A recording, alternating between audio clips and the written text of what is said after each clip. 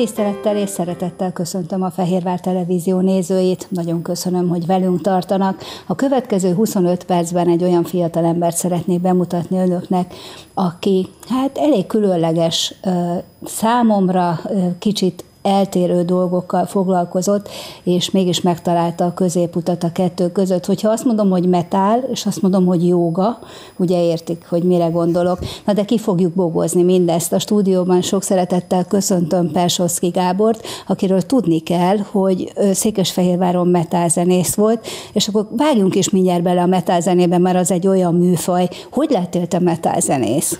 Köszönöm szépen a meghívást. Metál rajongóból lettem, úgymond metálzenész, bár ezzel szoktunk viccelődni, hogy mi inkább hangszertulajdonosok voltunk, mint zenészek, hiszen rajongóként kezdtünk el zenélni.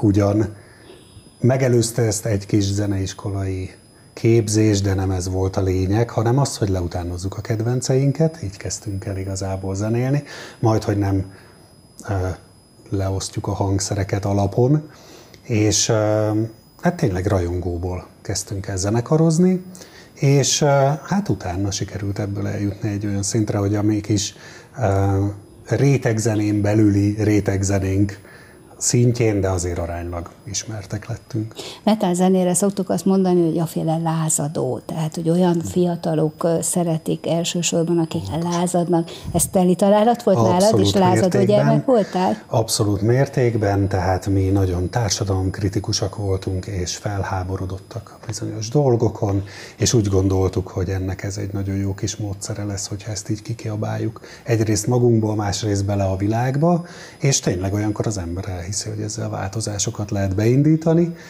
és ugyan ez azért nem annyira történik meg, de mi saját magunkból legalább a kis dühünket kikiabáltuk ezzel. Csak hogy megértsük azért, hogy mitől lett, lettél például te ilyen dühös, térjünk vissza a gyerekkorodra, amit valójában egy gyönyörű helyen nőttél fel a Balaton partján. Igen, én eredetileg siófoki vagyok, nem is ilyen jellegűek ezek a dolgok.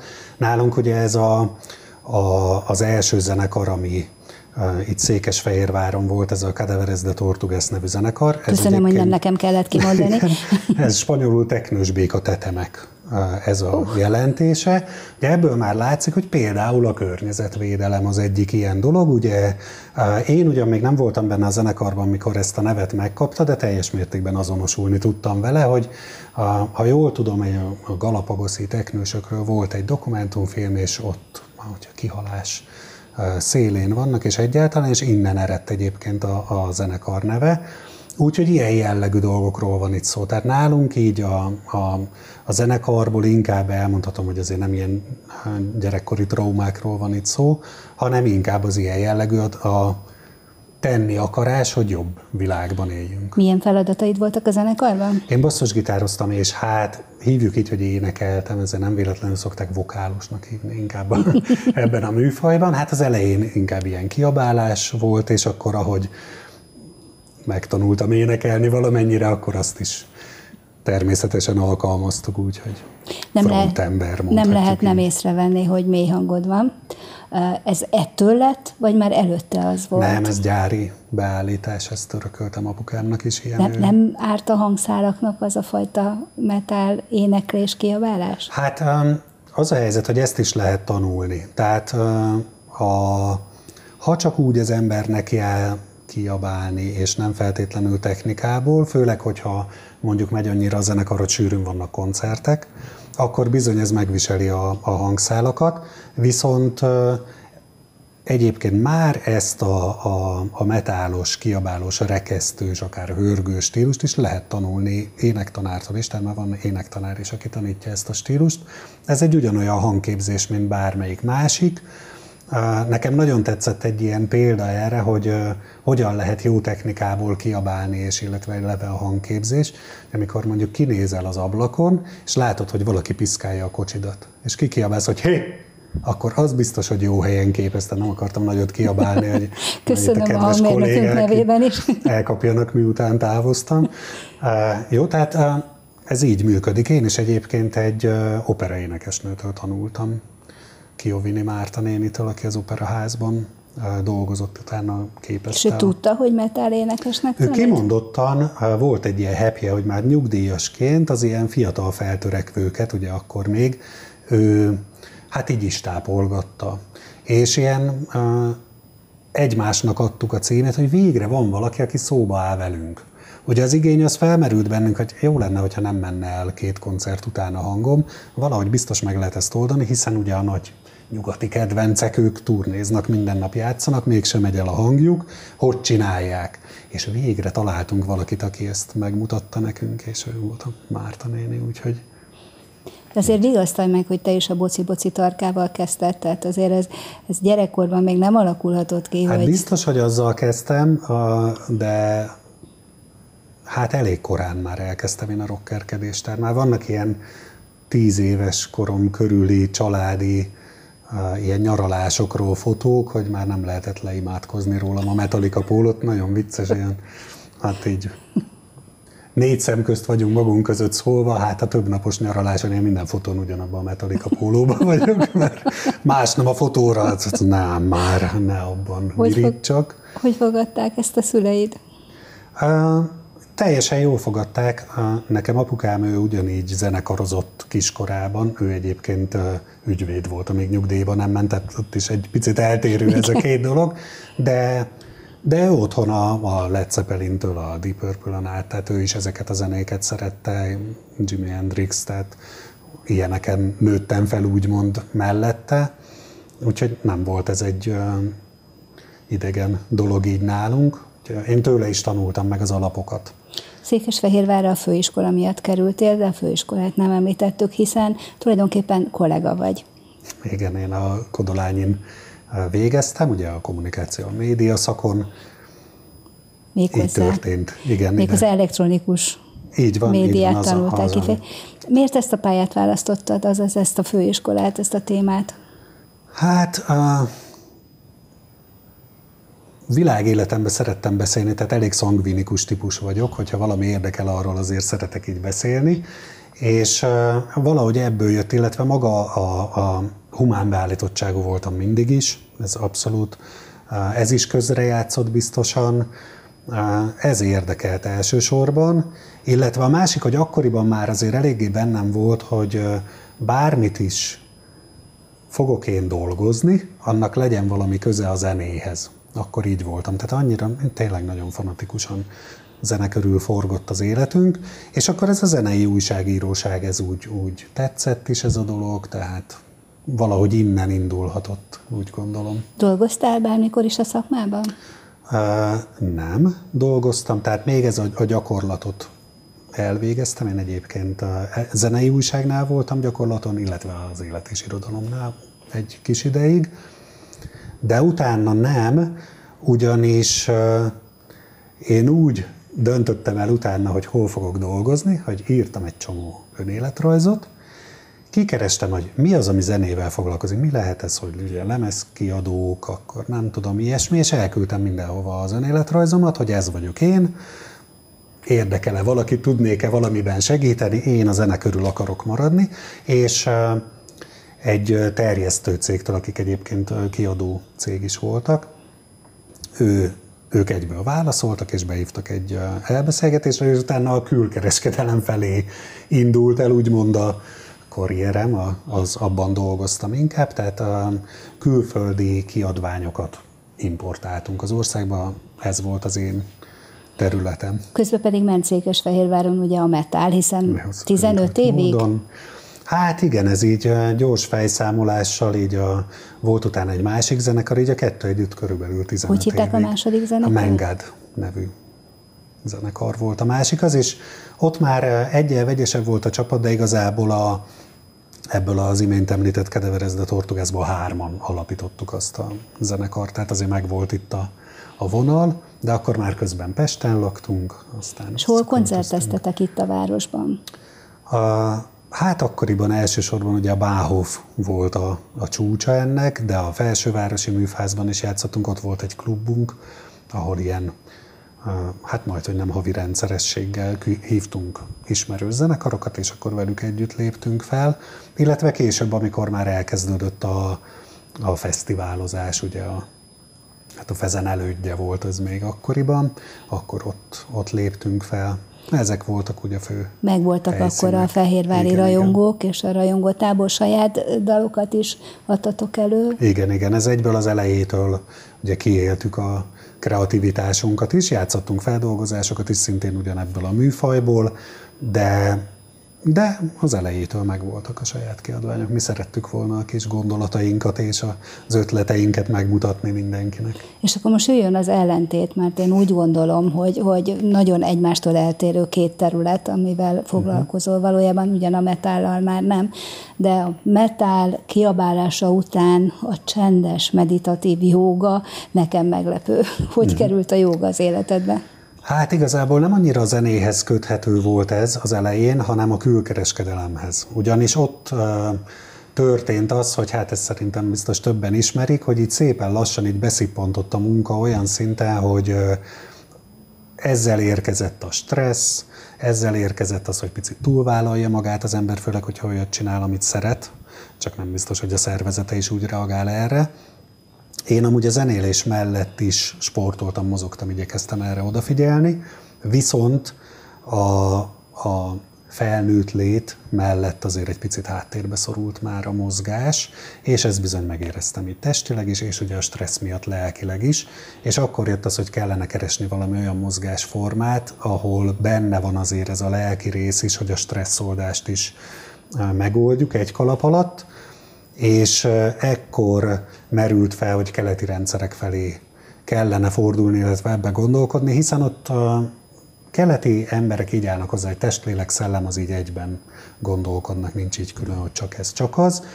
És így jött a, a jóga igazából, hogy hát tényleg van ez a jóga, nézzük meg, hogy mit mutat. És Hallottam egyébként már akkoriban, hogy zenészek is jogáznak, nem feltétlenül ugye a metal műfajból, de egyébként azóta már onnan is többen ismertebb zenészek, és hogy nézzük meg, mit mutat, és az a helyzet, hogy olyan rövid idő alatt olyan sokat segített nekem a jóga, hogy nem volt kérdés, hogy én ezzel foglalkozni akarok. Elsősorban gyakorlóként.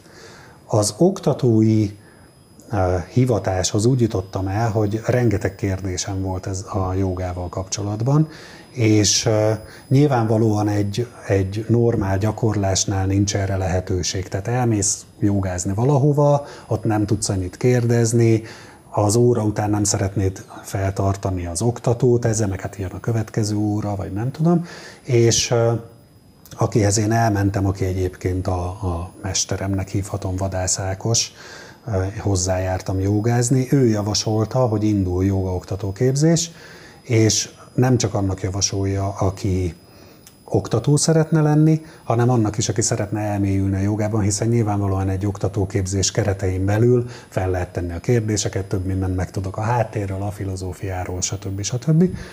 És az már menet közben dőlt el, tehát én még oda is úgy mentem, hogy nem akarok én oktatni, csak érdekel, de utána billent ez át, hogy ez egyszerűen egy annyira jó dolog, és annyira hasznos dolog itt a modern életmódú nyugati embernek is, hogy, hogy muszáj megmutatni mindenkinek. És akkor így jött be a, az oktatás a képbe. Tehát picit ezen a vonalon. Viszont, hogy visszakanyarodjak az eredeti téma felvetéshez, nem gondolom azt, hogy a rockerkedés és a jóga az annyira tűz és víz dolog lenne, ugyanis aki zenével elkezd foglalkozni, az biztos, hogy valamilyen szinten lelki beállítottságú ember. A zenének, a zene, ezzel szerintem, hogyha elvonatkoztatunk egy picit a metáltól, csak zenében gondolkodunk, műfajtól függetlenül, azért az belátható, hogy, hogy az bizony jót tesz az ember lelkének, kinek ez a műfaj, kinek az a műfaj. Ugye ki azt szereti, hogyha lehiggasztják ezek a hullámok, a másik kitombolja magát, és attól higgad le utána. Tehát itt azért ez megvan. A joga filozófiának az egyik alaptétele, és számomra nagyon szimpatikus és nagyon fontos tétele, az a, ami szanszkrit úgy hangzik, hogy jogas chitta vritti nirodha. Ez azt jelenti, hogy a joga az a tudat hullámainak a lecsillapítása.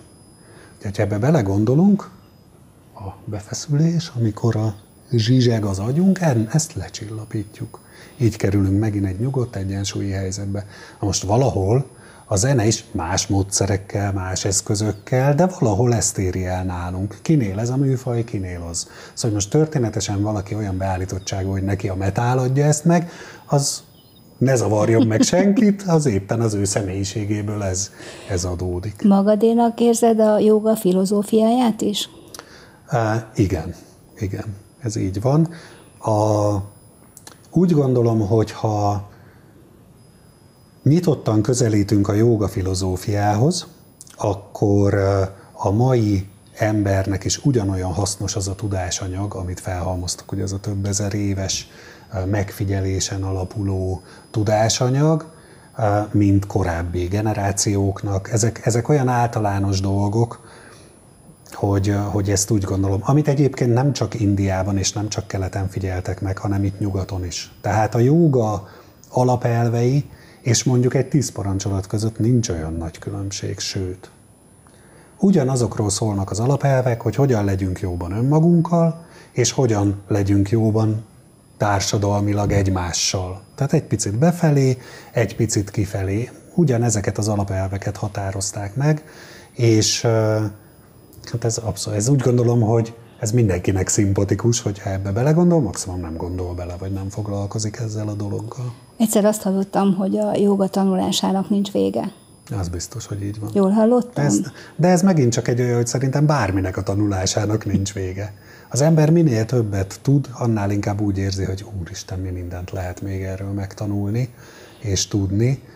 Ugye? Csak azért egy joga mozgással kapcsolatban az ember úgy gondolná, hogy vannak a gyakorlatok, amelyeket meg lehet tanulni, de lehet, hogy ezeket a gyakorlatokat mindenki saját irányában fejleszti tovább, ezért tanulja tovább?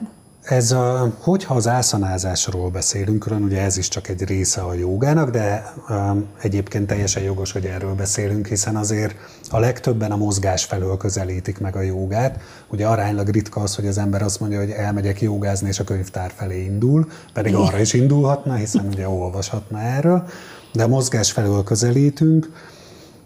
Természetesen itt is úgy van. Van egy olyan mozgás anyag, amiről úgy gondolom, hogy annak a rendszeres gyakorlása, rendszeres ismétlése, és azon az adott mozgás anyagon belüli tökéletesítése az egy, az egy nagyon hasznos, nagyon fontos dolog. De természetesen el lehet indulni, ugye úgy szoktam mondani, hogy a kínai cirkuszos gyakorlatok felé is, hogyha valakinek erre van igénye. Én egyébként úgy gondolom, hogy a, itt a modern életmódú, nyugati testalkatú és nyugati beállítottságú embernek igazából az alapászanák azok, amik a legtöbbet segítenek. Ezek a, pózok? Így van. Az eszem, ez a testtartás. Igen, Igen, ez a testtartás maga a gyakorlat.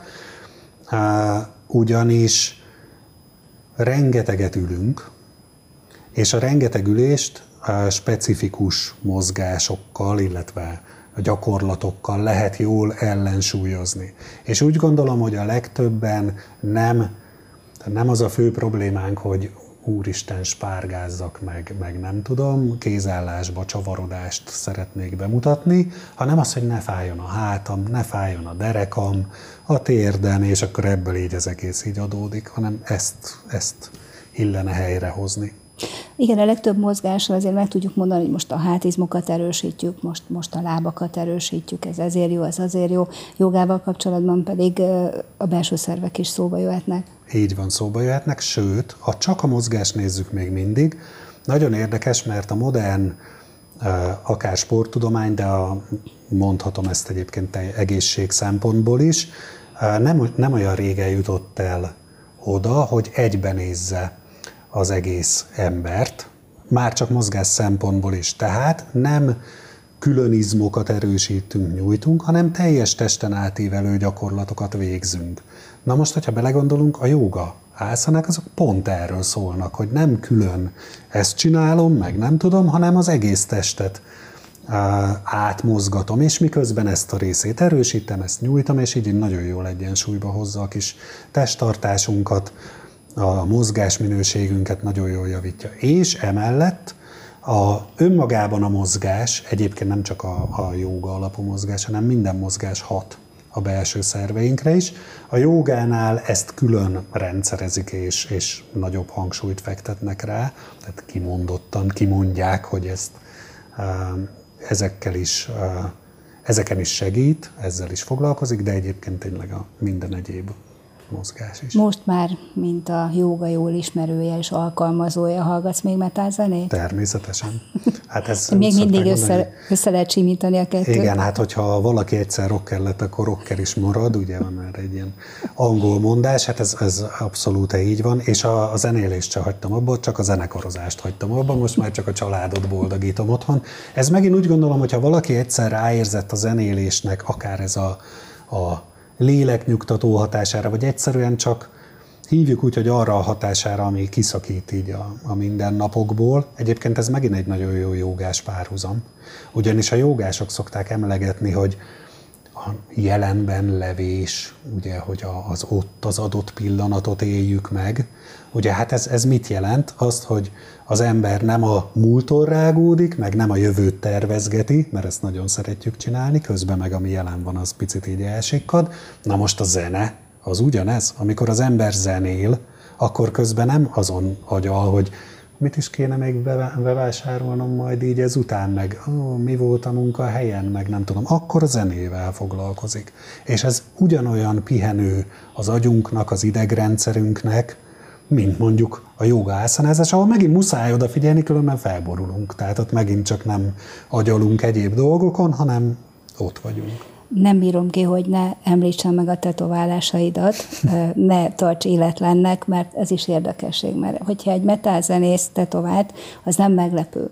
De hogyha egy metálzenész a saját kutyáját színesben tetováltatja magára, Bolond, az mondjuk. már az már meglepő. Valamelyest talán meg tudod mutatni a kamerának, ami szemben van veled, hogy milyen csoda látható a te mhm. karodon. Nem tudom, hogy mhm. mennyire látszik ez ennyire, úgyhogy ezért elnézést kérek, de muszáj volt felhozni. Mikor Igen, kezdődött ez a tetoválás? Hát ez igazából azért a rockerkedéshez kötődik, ugye a, megint csak, mint rajongó és a kedvenceimen láttam a sok tetoválást, tehát nyilvánvalóan máshogy viszonyultam már akár gyerekként, meg tiniként a, a tetováláshoz, mint az, aki nem ilyen zenét hallgat, vagy nem ilyen közegben mozog. És bizony ez akkoriban el is kezdődött, tehát olyan 18-20 évesen már elindult ez a dolog, de hát úgy is maradtam, mert pont ezek a, a tetoválások meg aránylag újak. És igen, hát szerintem nem kell nagyon így magyaráznom ezek után, hogy szívügyem a kutyázás és a, a, a kutyáknak a sorsa is, és egyáltalán ez egy, ez egy érdekes dolog. Egyébként ide lehet kapcsolni abszolút a jogához is, meg a zenéhez is, hiszen hogyha az ember elmegy a, a kutyájával sétálni, és mondjuk ki a természetbe, az ugyanúgy kisimítja, mint ezek az imént említett dolgok, illetve nagyon sokat lehet tanulni a kutyáktól a jelenben levésről is, hiszen ők aztán azzal vannak elfoglalva, erről is vannak egyébként nagyon jó kis grafikák, a neten lehet látni, hogy a sétál egymás mellett a gazdi meg a kutyus, és akkor a gazdi fejében ott nyüzsög az egész nap, a kutya fejében meg az, amit lát. Hát ezek így Úgyhogy ez... És a jó szívedről árulkodik, hogy mm, természetesen mentett kutyáid vannak. Van, illetve ez úgy van, hogy az egyik kutyánk ő mentett, mert nekünk van egy nagy favorit fajtánk, a rodéziai ridgeback, a afrikai oroszlán kutyának magyarították, hogy talán így egy elismertebb, és mi mindenképpen szerettünk volna egy ridgebacket, úgyhogy nálunk úgy van, hogy van egy fajta, akit így preferálunk, és mellette van egy mentetkénk is, hiszen azért ők is a, a menhelyes kutyák is természetesen igen a szívünkön viseljük a sorsukat, és akkor ez lett nálunk a kompromisszum, hogy van egy olyan is, meg egy ilyen is. Sajnos elfogyott az időnk, pedig órákat tudnánk még beszélni. Nagyon szépen köszönöm, hogy vállaltad ezt a műsort. Köszönöm szépen a meghívást. Elmesélted az életed. Nos, kedves nézőink, én azt hiszem, hogy látjuk már, hogy hogy lehet összefésülni a metált a jogával, sőt, még az állatszeretettel is. Nagyon szépen köszönöm, hogy velünk voltak. A műsor vendége Persolszki Gábor volt. Én elköszönök Önöktől, viszontlátásra.